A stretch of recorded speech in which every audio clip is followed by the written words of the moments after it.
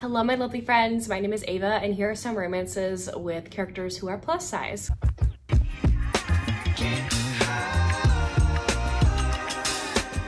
I love seeing this representation in romances. It shows that everyone and everybody is deserving of love. I do have a few recommendation videos with this representation um, and I'll be sure to link those below if you want even more recommendations. Um, but here are 10 romances I have not yet talked about in those videos. So first let's talk about Goal by Alexandria House. This one's really fun. So our heroine gets actually hired to become the hero's nanny. He just got guardianship of his two like kids, siblings, young half siblings, and he actually has a girlfriend, but you can tell really quick that she's only there for the money, for the fame. He is a very famous hockey player and she does not want to take care of these kids. And so he hires a nanny because he doesn't really know what he's doing. He's never been around kids, never taken care of kids before. And so he hires the heroine and he quickly realizes, oh my gosh, this woman is amazing. And I think I'm falling in love with her. and the girlfriend gets like casted off um, pretty quick um, because she shows her true colors. But there's like a little bit of like emotional cheating because he's like falling in love with her while he's already with somebody. But the, the, the girlfriend is awful. So I say go for it, my dude. The heroine fully embraces her body, embraces every inch of her, and isn't afraid to show some skin and flaunt off the way she looks. So I was obsessed with her and her confidence. Next is Trick Shot by Kayla Grosse. Kayla actually writes uh, plus size representation in every single one of her books, its own voices. And I love that she really tries to put that representation in every single one of her books. This one is an MMF romance. So the men in this situation, they're actually like best friends, but they're also roommates and I think they're roommates. I don't know. They they spend a lot of time together, okay? They're best friends and they actually like are in love with each other as well. And they decide to ask the heroine to join them for a night after one of them uh, meets her at a um, airport and they realize like they don't really want to let her go after they have some fun together. But this book is really hot and I love the like art that Kayla commissioned as well because you get to see all of them together and it's really fun. Um like beautiful art as well. But you get to see like all the different body types that are in this relationship and so there it's really good. It's really good. One of the heroes is also plus size as well so love that. Another author that prioritizes plus size representation in every single one of her books is olivia dade. I really enjoy olivia dade's books so i'm going to talk about a series by her. It's the Something About Marysburg series. First one is Teach Me, and this one's about an older couple that you would typically see in a romance book. I think they're in their 40s and they're both teachers at a high school. The heroine has worked there for so long. She's a history teacher. She loves teaching history to high schoolers, but then one of her classes that she absolutely loves teaching gets taken away and she's kind of devastated because it's given to a new hire, the hero, and she kind of gets off on the wrong foot with him because she's very butthurt about him taking one of her classes. She, he had no idea, by the way. He had no idea that he was taking this course. He was just given this. And so he decides to kind of like win her back into good graces, um, wants to get on her good side because he knows that she's an amazing teacher. The kids love her, the teachers love her, and he's like, I think she's amazing. I would love to get to know her more, at least be her friend, honestly. Um, and throughout their friendship, and him inserting himself into her life, they actually end up falling in love with each other. And we have another heroine who's absolutely confident. Like I wish I had her confidence. Like her just reading about her and the way that she dresses and feels about herself. Like, oh my gosh, I want, I want that attitude. Like I want her confidence level. The next book in the series is 40 Love. So we actually have the principal of that school that both characters work at, um, the new principal. She is the heroine of the story and she goes on vacation with her best friend and she's in the ocean by herself hanging out when a very strong current takes off her swim top. and she realizes there's some kids coming into the ocean and she's terrified that kids are gonna see her naked and that's obviously not good especially for a principal. She sees the only shield nearby is this very honky chunky buff man okay? And she's like okay i have to do this. And so she plasters herself to this man's back and is like you have to help me. I do not want to flash these kids. And so they kind of like work together to get her out of the ocean without anyone noticing that she's topless. That's our hero of the story. He's I think like 10 years younger than her, I wanna say. He works at the resort that she's staying at as a tennis instructor. He's gone through some trauma in his life. He used to be like a very prolific and very famous tennis player, but he got injured and he's now only really able to teach tennis instead of play it. And it's affected him mentally really because he's he's really sad about it. But yeah he meets a heroine in that interesting situation and can't get her out of his mind. And yeah that's all i really want to say but it is it's really good it's good. And then the last book in the series is actually a um, like bind up of little novellas. This is the sweetest in the gale. This one is really really good. Um, so each book, there's, so each story has a heroine who's plus size. The two that I remember absolutely loving is um, another one between two teachers. So one is uh, the heroine is an art teacher and the hero is I think the math teacher and has to observe her because typically in public schools, a lot of teachers have to observe each other for certain reasons. She's a new hire, so he comes in to observe her. They don't really get off on the right foot. Something happens. There's kind of like a miscommunication, little honestly judgment on his part at first. But once he sits for a while and watches her class and watches these students interact with her, like he's sold on this woman. It's like, oh my gosh, like this woman is amazing.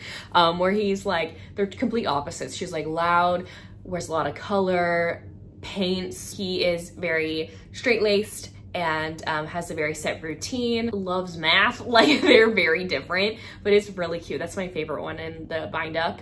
And then um, my other one that I love a lot is the Friends to Lovers one, where the heroine in here actually has to marry her best friend from, from college because he's like, you don't have health insurance and you might have breast cancer, so let's get married and then you can come on my health insurance and through their like marriage of convenience, they like fall in love with each other. We're leaning more towards the like paranormal monster romance route. Next I have Yearning for Her by Tiffany Roberts. Tiffany Roberts also has quite a few books that have plus size representation in them, which I love. This one is another heroine that absolutely loves every inch of her body and her skin, so I love that confidence. I love also plus size representation where women are a little bit more insecure about themselves because I can really relate to that. Like, I feel like a lot of people can relate to that no matter what type of body you have. So I do love reading about those as well. I'm not saying that I don't just putting that out there. So this heroine starts out at the beginning of this book getting finding out that her boyfriend is cheating on her. That she thought like he was gonna be the love of her life, that they're gonna get married, be in love for the rest of her life,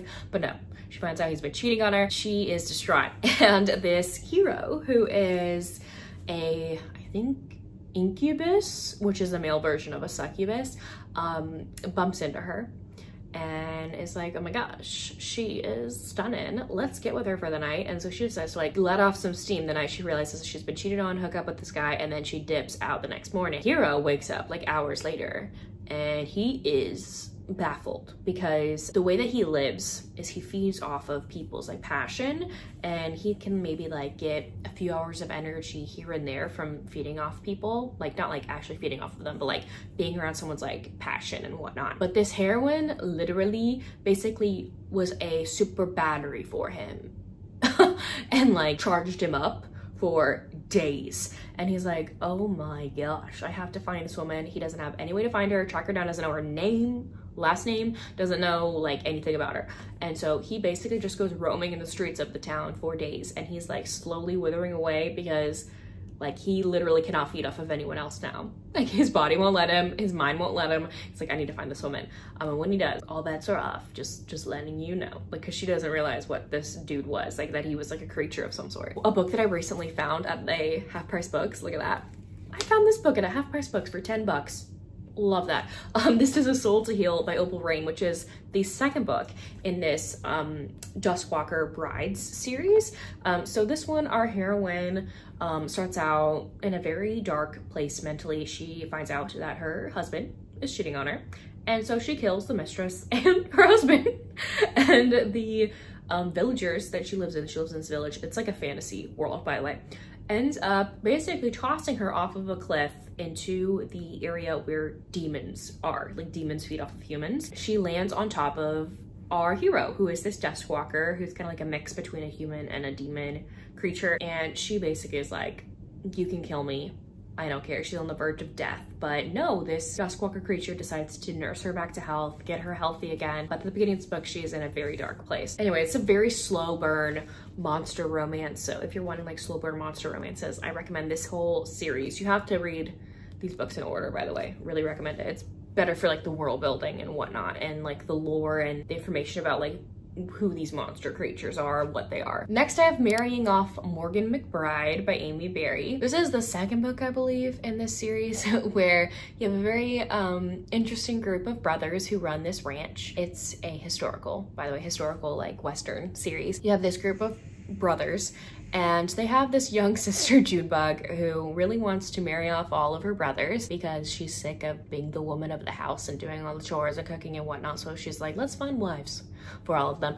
Um, so she already had a victim in book number one with one of her brothers. So she decides to marry off another one and puts an ad in a newspaper and our heroine Pip ends up showing up and she's like so excited. She's like, I'm gonna have a husband. I'm so excited. And when she shows up, the hero doesn't even know about her, doesn't know what's going on, didn't even want a wife. And so she's very disappointed. She has to stay the night because she has nowhere else to stay and things kind of happen between the two of them during her stay. And it's actually really sweet. I really enjoyed this one. So if you want like a fun Western, if you want to get into Westerns, I do recommend this series. I also have Marry in Scandal by Anne Gracie. This is my favorite book in this series. I really started loving Anne Gracie's books. The heroine of the story, um, we met her in book number one. Her brother's story was book number one. And she's an heiress actually. She is due to inherit a lot of money when she gets married and she gets kidnapped at the beginning of this book book by this guy who like drugs her at a um, ball. So she gets kidnapped and um, during her kidnapping, she starts escaping a few times and in one of the escape attempts, she ends up across a carriage and the man in the carriage saves her. Turns out she knows this man. It's her like brother's best friend because she's been gone for so long and she shows up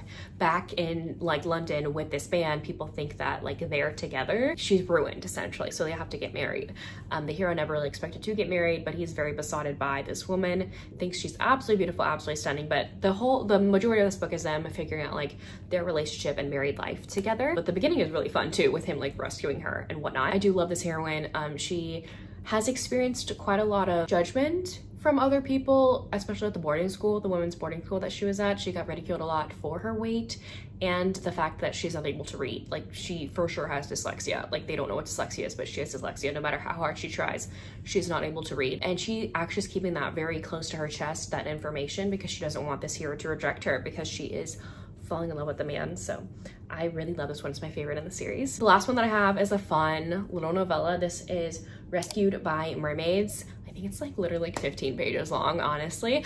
Um, and it's a sapphic uh, mermaid romance where our human woman is um, hanging out in the middle of the ocean and she gets lost or the current takes her out um, while she's just rowing, trying to enjoy the view. I think she's in like Hawaii or something and she just like decides to go out on a little dinghy by herself and she gets lost, like the current takes her out and a mermaid ends up saving her, bringing her to a cave, and they have some fun together. That's what I'm gonna say. So it's actually really fun read. I really enjoyed it. Anyways, there you have it. Those are some romances with plus size or representation. Let me know down below if you've read any of these books or if you plan to, but if you don't feel like commenting anything else, you can leave me a mermaid emoji in the comment section down below. But anyways, thank y'all so, so much for watching. I will see y'all soon in my next one.